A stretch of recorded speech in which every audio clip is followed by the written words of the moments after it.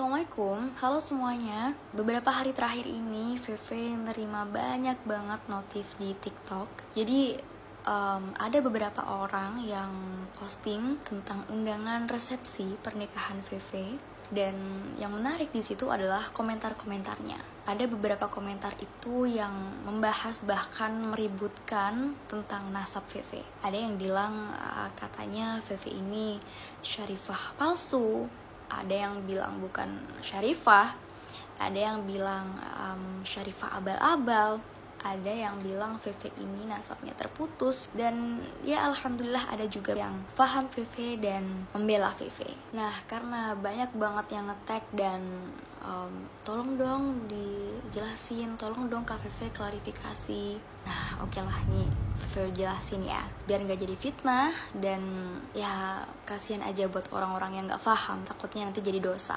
Sebelum VV jelasin semuanya, VV mau tanya dulu nih, terutama untuk em, kalian-kalian yang meributkan nasab VV, apa sih manfaatnya? Kok sampai segitunya gitu loh? Karena VV sendiri tuh apa ya? VV tuh biasa. Artinya kalau ya teman-teman percaya, monggo. Kalau enggak ya nggak apa-apa. VV nggak nggak ada nggak pernah ada masalah dengan itu. Apakah ada pihak-pihak yang dirugikan? Kalau memang iya. Nah, khusus buat kalian yang getol banget menolak nasab VV, nasab kalian sendiri tuh gimana? Uruslah nasabnya sendiri. Ngapain ngurus-ngurus nasab VV? Kan lucu, keluarga bukan, saudara bukan. Kok yo, ngesok gitu loh. Sok tahu tentang nasab VV. Nah, kemudian ada lagi yang komen kayak gini. Oh, aku tahu nasabnya VV. Karena aku ini Syarifah.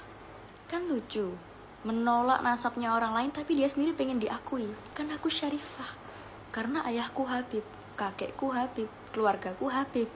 Please ya, kalau ayahmu, kalau bapakmu itu Habib, kalau keluargamu Habib, ya berarti kamu bukan Syarifah. Kamu itu Habibah.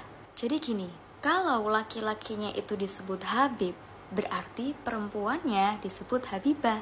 Kalau perempuannya sebutannya Syarifah, berarti laki-lakinya sebutannya itu Syarif. Nah, kalau laki-lakinya Sayyid, berarti perempuannya itu Sayyidah. Karena antara Habib, Syarif, Sayyid ini berbeda. Jadi kalau Habib, ya jangan ngaku Sayyid, jangan ngaku Syarif.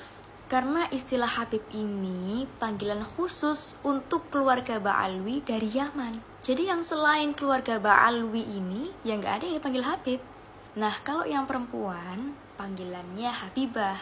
Atau biasanya dipanggil Hubabah. Oke, sampai di sini jelas ya. Nah, ini ada lagi yang komen kayak gini. VV ini bukan dari keluarga Habib, karena Habib yang asli itu pasti tercatat di Robito Alawiyah. Loh ya memang bener, karena VV bukan keluarga Habib. Keluarga VV nggak ada yang dipanggil Habib. Kakek-kakek VV nggak ada yang dipanggil Habib. Kenapa? Ya karena kita bukan Ba'alwi. Dan semuanya itu dipanggil Sayyid atau Syarif. Nah, buat teman-teman yang belum tahu, ini perlu diketahui dan diingat-ingat ya. Robito Alawiyah itu hanya mencatat keturunan Alwi atau Alawi bin Ubaidillah. Makanya namanya itu Robito Alawiyah. Nah, VV ini bukan keturunan Alwi atau Alawi bin Ubaidillah. Makanya mau dicari sampai kiamat kurang setengah jam wes nggak akan nemu nama VV di sana. Nah, ini ada lagi komen yang serupa ini. Kalau memang VV dan keluarga ini benar asli keturunannya Rasulullah, harusnya itu pasti tercatat di Robito Alawiyah. Karena semua keturunan Nabi itu dicatat di Robito Alawiyah. Nah, ini keliru ini. Wong Robito Alawiyah itu cuma ada di Indonesia. Sedangkan keturunan Rasulullah itu menyebar di seluruh dunia. Mosok yang di Mekah, di Maroko, di Jordan, di mana lagi? Di Palestina, Damaskus, Syria, Tunisia, itu dicatat di Indonesia tok. Sedangkan di Yaman sendiri loh, Robito Alawiyah itu nggak ada. Di Yaman itu, pencatatan nasab keluarga Ba'alwi itu dicatat masing-masing keluarga. Ya memang ada di sana buku induknya. Kalau nggak salah namanya itu Syajaratul Um. Jadi VV tegaskan sekali lagi ya, bahwa VV ini bukan keturunan Alwi bin Ubaidillah. VV bukan Ba'alwi. Jadi mau dicari di Robito Alawi ya, sampai kiamat kurang setengah jam, kurang setengah menit, nggak akan ketemu. Loh, Terus Veve dan keluarga dicatat di mana? Ya ada sendiri. Namanya Naqabah As-Sadah Al-Ashraf ada itu di Maroko, di Tunisia, di Damaskus, di Jordan. Jadi Veve tuh punya syahadah nasab dari nakobah ini. Nah, kalau ada yang minta spill dong nasabnya, buat apa? Kan tadi Veve sudah bilang, mau percaya monggo, kalau enggak ya enggak masalah. Nah, terakhir, buat kalian yang ingin tahu lebih jelas tentang nasab, nah monggo silahkan kalian cari di YouTube. Kalau kalian cari tentang keluarga VV, monggo bisa cari ya, bisa search, bisa buka itu YouTube-nya Sayyid Zulfikar Official.